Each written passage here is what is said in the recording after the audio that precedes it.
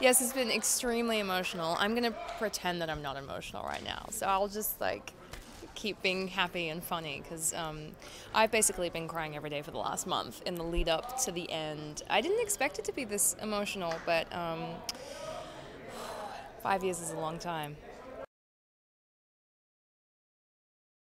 I've lost my memory.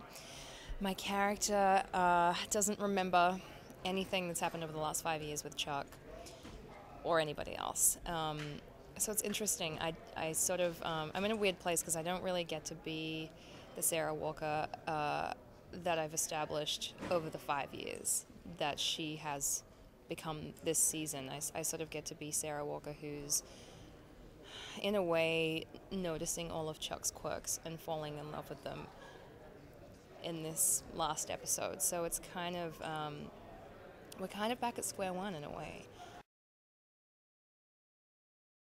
I am. I'm, I'm going after Quinn, and who is our bad guy. And uh, I'm I'm jumping out of a plane. I get sucked out of a plane. I hit my head as I as I jump out or fall out rather, and then I wake up mid-flight. Um, so then I sort of gain control and, and bust a parachute open, and then dive dive into the ocean, and then walk out of the ocean and steal somebody's motorbike and drive off on a Ducati.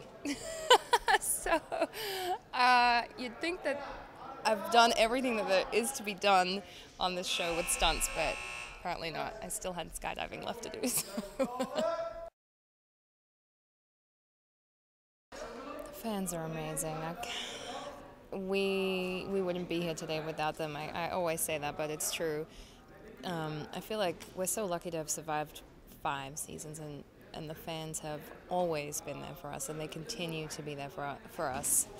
Um, Twitter has become such a huge component um, in our lives, like for, for, our communication between us and the fans, and and it's really helped to bridge that gap. And and I mean, really, this home run now. We have five days left of shooting this final episode, and and I, I mean, I feel like we're doing it for the fans. It's pretty much for them, everything we do, and yeah, we hope they like it.